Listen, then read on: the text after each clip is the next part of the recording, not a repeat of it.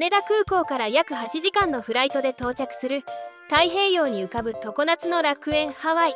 アメリカの一州でハワイ島マウイ島オアフ島など8つの島と100を超える小島からなります。今回は州都ホノルルがあるオアフ島にフォーカスを当て2回目に続き現地で活躍する日系人日本人の方々を巡ります。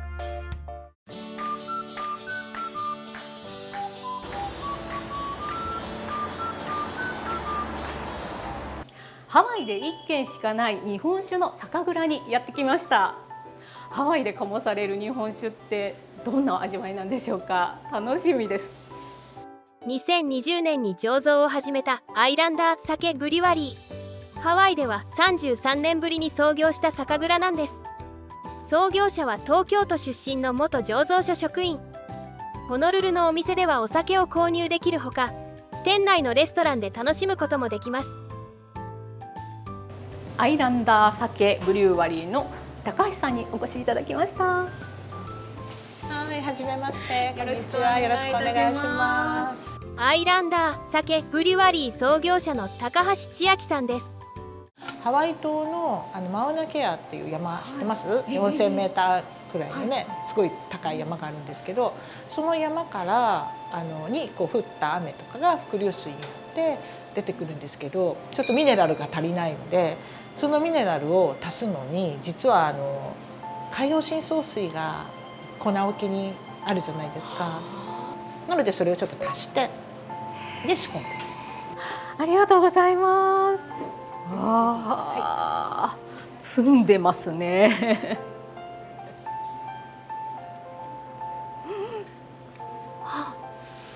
甘みがすごい感じてすごいでもすっきりしてますね高橋さんのお酒はどちらで味わえるんですか？えー、とオアフ島だとこのあのチャイナタウンにあるハナレっていうレストランで実は週末だけちょっと営業してるんですね。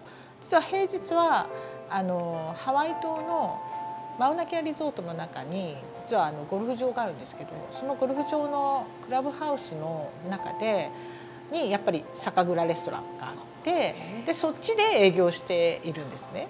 えー、高橋さんの作るお酒は日本とハワイのいいところを両方マリアージュした本当に美味しいお酒でした。ハワイの風爽やかな、えー、優しい風を感じました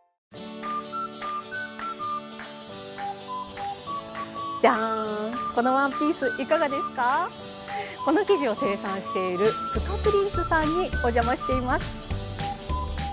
ハワイの民族衣装アロハシャツやムームードレスは南国らしい絵柄が魅力。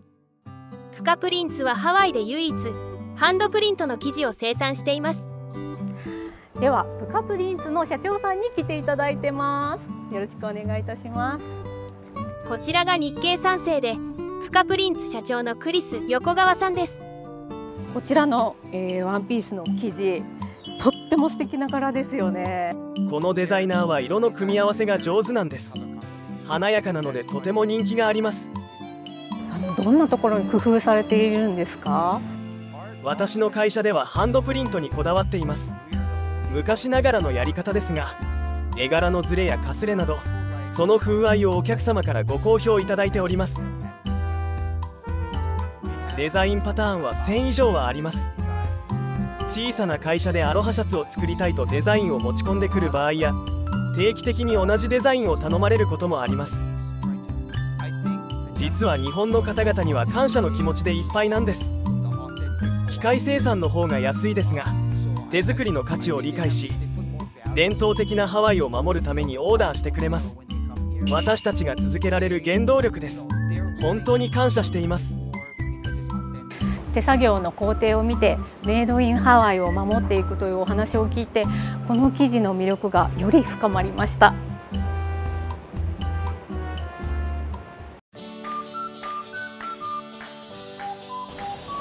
こちらが今回宿泊するホテルヒルトンハワイアンビレッジです。ホノルルの一等地に構えるヒルトンハワイアンビレッジワイキキビーチリゾート。往年のロックスターエルビス・プレスリーの定宿でした。敷地には5棟のホテルタワーがそびえます。わービーチサイドにあって最高のロケーションです。2万7000坪の敷地には90以上の店が並び多彩な味が楽しめるレストランや高級ブランドが揃います。目の前にはラグーンも広がりヨガレッスンなど宿泊者が無料で参加できるアトラクションもあります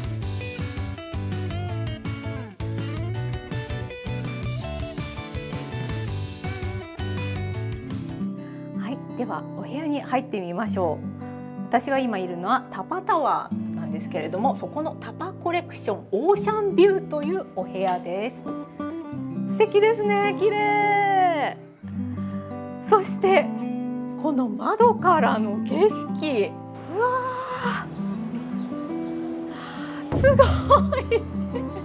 目の前に。ビーチですよ。ワイキキビーチ。素晴らしい。じゃあそろそろディナータイムなのでこちらのお店に入ってみようかなと思います。トロピックスというアメリカンフードですね。Hello Thank you 席にえー、こちらメニューですおすすめを3つ頼んでみました。あー来ました。あーすごいボリューム。はいじゃあ早速いただいてみようと思います。ポキとココナッツシュリンプチキンウィングです。いただきます。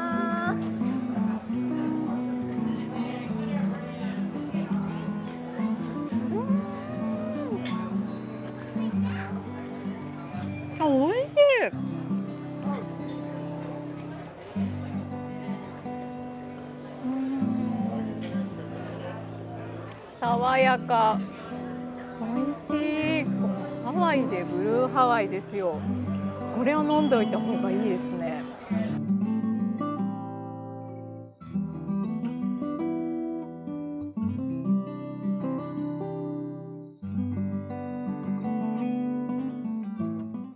ハワイオアフ島日本人ゆかりの地へ。次回は日系4世が営む観光できる農園。岡山県出身の人気シェフが腕を振るうレストランなどをご紹介します。